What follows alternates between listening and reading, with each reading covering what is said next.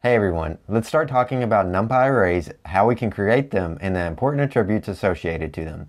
Let's get started. You should already have NumPy installed, but if you don't, remember that the command is pip3 install NumPy. Assuming that you have it installed, we'll import NumPy as np. Now every time that we want to reference a NumPy function, we'll use this np first. The main purpose of NumPy is to use the multi-dimensional arrays. Let's create an array now. We'll say array A. We'll reference the NumPy package by typing np, and then we'll use the method array. We'll put parentheses, and this function takes in one argument to create an array. So that means we need to pass one sequence to this function. A sequence in Python is just something like a list or a string. We'll use a list for this example. We'll create a simple list and we'll pass in 1, 2, 3, 4, 5.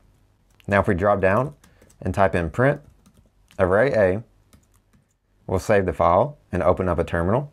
Executing the file using Python 3, and the name of mine is numpy arrays lesson.py. We see that we returned a simple array using numpy, but this looks a lot like the list that we passed to it in the first place.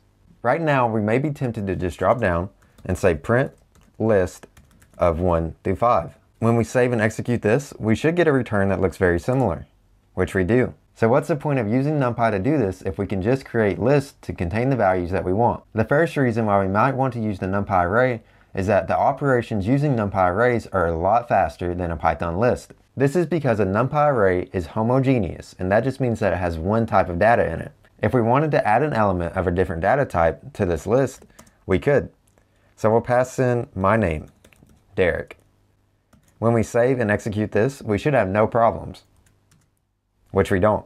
This is because Python is a dynamically typed language, and that just means that we don't have to explicitly state the data type of each variable whenever we create it. This is an awesome feature if you're dealing with heterogeneous data types because it's built directly into Python. But if you're not working with heterogeneous data types and you have a homogeneous data set, it actually slows you down having that ability. There's a long explanation of why this is, but in short, Python needs more data whenever we don't explicitly state the data type. NumPy arrays don't require this extra memory because they're a homogeneous data type, and that just means that the things that we put into a NumPy array can have operations performed on them much quicker. If we were to add that string to our NumPy array, we might get some unexpected behavior. So let's see what happens when we add Derrick to our NumPy array. We'll save the file and execute. It may look like that we get the result that we want. However, if you look closer, it's not the result that we expected.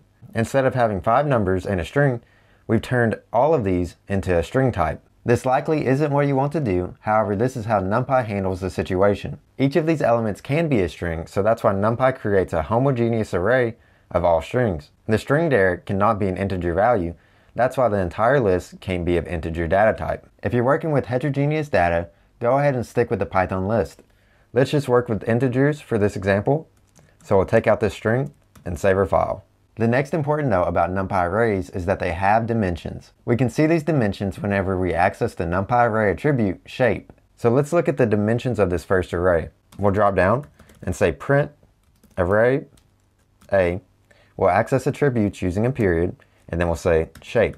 We'll execute and we see that we returned a tuple with only a 5. A NumPy array shape will have a tuple where the first value represents the rows and the second value represents the columns. We only have a one-dimensional array here of the length 5. So this has a shape of 1, 5. We don't see that here because the 1 isn't explicitly stated, but let's see how we can make a multi-dimensional array. We'll drop down and say array b is equal to numpy dot array parentheses, and now we need to be sure to only pass one argument to our numpy array function. We may be tempted to create two lists like this, one, two, three, four, five, and then a second list of the same values.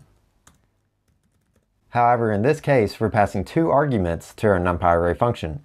We have the first argument here, and then the comma denotes a new argument. So the second argument would be here. Therefore, we need to put these all into one list value and create one argument. We can do that with the second set of square brackets. So we'll include all of these in one set of square brackets. Now we have one argument that we're passing to the NumPy array. This is just a Python nested list and it will create a two-dimensional array of the length 5. We'll see that array now. So we'll say array B and we'll print that to our terminal.